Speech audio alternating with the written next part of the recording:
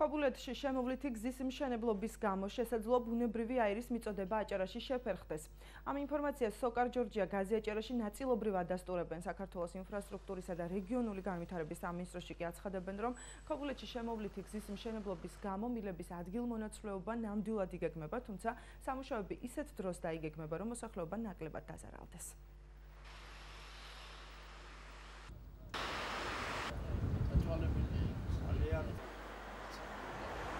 ამ ეტაპზე გაზის გათიშვა არ განიხილება აჭარის მოსახლეობისთვის. ზოგადად ეს პროექტი, ეს არის კომუნიკის შემოვლითი გზის პროექტი, ითვალისწინებს გაზის მილების გადატანას, მაგრამ ამ კონკრეტულ შემთხვევაში და ამ მომენტისთვის ნამდვილად არ არის ეს საკითხი გზის წესრიგში. როცა დადგება ეს საკითხი, ალბათ დადგება აუცილებლად, იმიტომ რომ გზის მშენებლობისთვის აუცილებელი არის გაზის მაგისტრალური მილების გადატანა, ასეთ შემთხვევაში ჩვენ წინასწარ ვაცნობებთ მოსახლეობას რამდენიმე დღით ადრე ამ ყველაფერს, რომ მაქსიმალურად ნაკლები დისკომფორტი შეექმნას მოსახლეობას და მომზადებული შეხვდეთ ამ საკითხს.